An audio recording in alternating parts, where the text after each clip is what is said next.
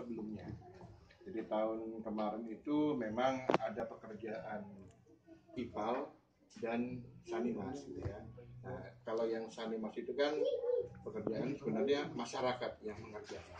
Nah, ada- eh, terhadap kegiatan masyarakat itu harusnya memang masyarakat yang mengerjakan Pak Pak Abu. Tapi kami dapat info kemarin ada beberapa yang dikerjakan tidak pada semestinya gitu ya. Yang dua orang itu harusnya TFL yang mengawal, benar-benar mengawal lah, mengawal pekerjaan tersebut.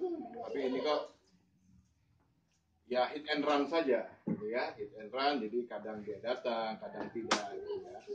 Nah, pekerjaan itu tadi Bapak sudah sampaikan memang benar sudah hampir selesai Pak Kabit. Jadi mungkin ditahannya dua tiga batang pipa itu untuk menyelesaikan Pak Budi dan Pak Eman nanti datang gitu ya. Karena ya memang kendala itu pernah ada di dalam gitu ya di intern di internnya teman-teman KSM dan KKP lah itu ya. Setelah barang itu diselesaikan kan mereka yang ini. Tapi akan kami sampaikan sudah kami sampaikan juga tadi malam kepada Pak Satker gitu ya. Berkaitan dengan ini Pak Satker ini akan memanggil Pak. Memanggil dua orang TFL tersebut atau nanti ada TFL uh, fasilitas provinsinya juga akan dipanggil. Jadi kondisi yang di sini itu sudah kami sampaikan ya Pak. Nah, berkaitan dengan dua orang itu kan kita harus mencari dulu, sama seperti yang saya bilangkan kemarin, posisi dua orang ini adakah di mana gitu. Karena kontrak yang kemarin sudah berakhir. Nah, ternyata ada tanda kutip bahwa ini agak bermasalah gitu ya, baik dengan keuangannya atau pekerjaan fisiknya memang dilaporkan sudah kalau lihat di gambarnya sih 100% gitu ya. Tapi begitu kami lihat di sambungan kok ada yang masuk ke baknya. Berarti kan ini ada yang belum connecting gitu ya. Ya nanti ya nanti kalau sudah kami sampaikan kami kembali ke Manokwari gitu ya Bapak. Mudah-mudahan dapat ketemu dengan dua orang tersebut. Kita ke sini lagi atau apa arahan dari Pak Sarkem seperti apa akan kami selesaikan Pak akan tetap akan kami selesaikan. Nah permohonan maaf kami juga ya kami kurang mengawal di sini. Kurang mengawal. Jadi mungkin teman-teman satker juga kemarin tahun lalu itu ya tidak tidak banyak masuk ini karena sebenarnya yang sudah ditugaskan kan dua ini dua orang itu lah TFL ada kan mengawal gitu ya Satunya itu mereka satu mereka nah yang kedua tadi mengenai berkas-berkas bon ataupun apa yang berkaitan dengan pembelian memang harusnya harusnya itu dari bendahara lah yang mengeluarkan bahwa oh bapak ini beli apa kurang apa? Gitu. Bukan mereka yang tanda kutip bermain. Saya nggak tahu itu bermain atau enggak atau tanpa pengetahuan bendahara dan ketua KSM harusnya enggak bisa. Ya bisa diambil seperti itu. Nah ini kalau kami lihat visualnya oh ada ada ada kendala kan di sini jadi akan kami selesaikan Bapak. Nah, yang kedua program yang di bawah Pak Lampu itu sudah kami serah terimakan kemarin ke Pak Bupati. Sudah diparap sama Pak Kepala Dinas, Bapeda gitu ya.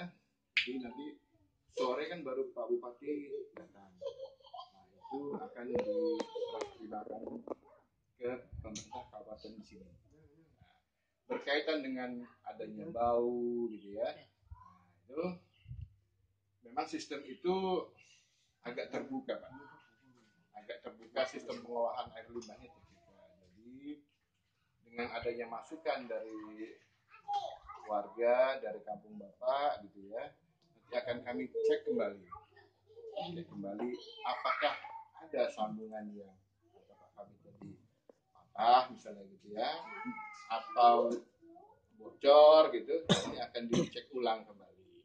Nah, ke depan memang ada satu treatment yang dari Satker bahwa itu nanti akan ditutup. Kami akan lihat misalnya mencegah baunya ini seperti apa gitu lah.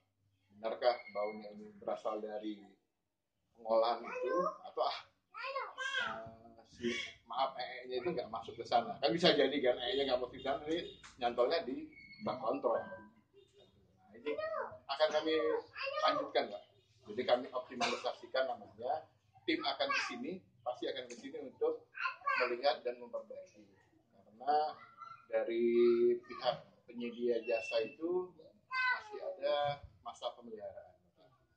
Jadi masa pemeliharaan itu akan kami coba untuk mengoptimalisasikan itu apa? Ya agar agar IPAL yang satu ini bisa berjalan. Karena ini kebutuhan juga untuk kita semua Bapak. Sama seperti kemarin kami diajak sama Pak Kabit ke, kampung Rado ya Pak nah, itu mereka sangat butuh sistem pengolahan air limbah gitu Pak karena mereka buang hajatnya itu sudah ke sungai. Kalau malam kan sulit apalagi tahan itu kan nah, jadi memang perlu uh, penanganan pengolahan air limbah untuk masyarakat. Jadi inilah programnya pemerintah programnya kami itu membangun instalasi pengolahan air limbah TPA drainase itu di kami Pak. Kalau air limbah di satker yang lain jadi dua poin itu akan segera kami sampaikan ke pimpinan, akan segera kami realisasikan gitu. Nah, sebenarnya berkaitan kami mengadakan ini, ada pengolahan satu lagi, Bapak, yang akan kami kerjakan di sudut gang tiga itu. Jadi ini ada tahapan kedua, karena pengguna daripada kampung ini kan banyak Bapak. Jadi ya, cashman A itu untuk bagian yang pertama kemarin yang kami kerjakan. Nah, cashman B ini yang sekarang akan teman-teman. Kami mohon izin Bapak bahwa akan ada pekerjaan untuk yang bagian sini. Jadi bagian sini limbah cairnya akan diolah di sudut itu. Nah, karena harus ada yang masuk namanya sambungan rumah pak jadi sambungan rumah itu uh, si limbah cairnya itu harus masuk ke saluran main padnya nah kami mohon izin dibantu didampingi bahwa warga rumah-rumah warga itu bisa masuk ke pipa utamanya pipa main padnya jadi sebenarnya uh, tujuan kami itu ternyata ada hal lain yang luar itu ya mohon maaf ya bapak ya jadi, itu nanti akan kami ini. Nah, poin yang hari ini sebenarnya itu Bapak, memberitahukan bahwa kami mau masuk pekerjaan kemarin sudah ya katakanlah mengukur kembali dari teman-teman perencana ini. Jadi kami mohon izin nanti mungkin bertemu door to door atau beberapa rumah itu untuk siapa sih yang mau disamakan mungkin itu dulu terima kasih kepada bapak-bapak terima kasih eh, bapak mau tanya oh, iya. eh kalau saya cuma usul saja apakah bisa di samping-samping rumah saja maksudnya setiap rumah dari seperti kayak begitu kayaknya masyarakat tidak suka karena pengaruhnya pertama kan sudah jadi sana. Jadi ini banyak toh ini banyak orang. Mungkin ada yang pro ada yang tidak. Jadi saya cuma itu saja kalau di samping-samping rumah apa bisa atau tidak. Kalau saya rasa kalau di samping-samping rumah mungkin masyarakat cuma setuju. Karena kalau di situ ada yang mau dan ada yang tidak mau karena pengalamannya di sana. Kalau menurut saya begitu. Menurut saya saja. Waktu kayak di samping-samping rumah ya. Mungkin kan ada sekitar mungkin bisa sambung ya. Mungkin barang IPA saja. Terima kasih Pak. Untuk ke sana kayaknya ada yang pro dan ada yang usul itu kalau di pemerintah kami gitu Pak ya. Sistem seperti itu sudah kami tinggalkan. Mohon maaf. Jadi uh, kalau dia memberikan satu rumpun dua rumah untuk satu collecting itu tidak bisa. Jadi sistem kami itu adalah komunal di komunal itu ditangkap semua rumah dikumpul jadi satu. Kalau masih seperti septic tank itu jadi kendala, Pak. Di kita tidak ada, tidak ada sistem makanya yang diperlukan itu kan satu pengolahan air limbah. Jadi masyarakat langsung membuat struktur gelontor masuk ke pipa udara. Oh, nah yang sana kan sistemnya berbeda sekarang. Yang sana itu main Mungkin Pak bisa. Ya.